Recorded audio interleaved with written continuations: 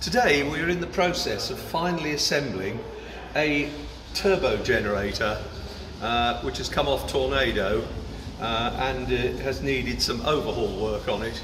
In particular, its original steam turbine wheel was very badly worn.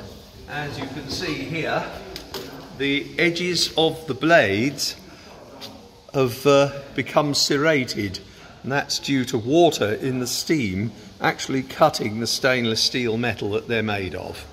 So replacing these turbine wheels used to be straightforward in as much as we contacted the supplier, Meiningen Locomotive Works in Germany, and they had a stock of them.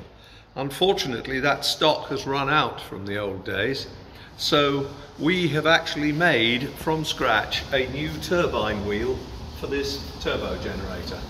The purpose of the turbo generator is to generate electricity for the engine at 28 volts and this particular one will produce around about 0.9 of a kilowatt when it's going flat out. These turbo generators are a Farbeg German design which was last in production probably in the mid 1970s. So we are very much dependent upon specimens which have been rescued off scrap locomotives uh, for what we are doing here. Originally, this area here contained a dynamo, that's a DC generator, with a capacity of 500 watts.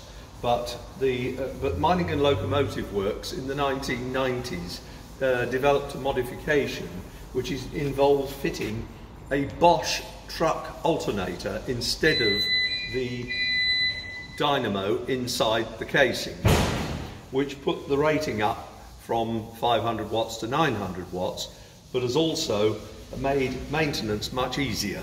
Because if we get in a problem with the alternator, we simply swap it for another one and we can take this back to our local automotive electrics place and they will provide us with an overhauled replacement for a very reasonable sum of money compared with having to overhaul the DC type generator that was fitted in the first place. What we're actually doing at the moment is reconnecting the electrical cabling to the back of the alternator which goes into this junction box here and the connection to the rest of the locomotive takes place through a gland underneath the bottom of the junction box here.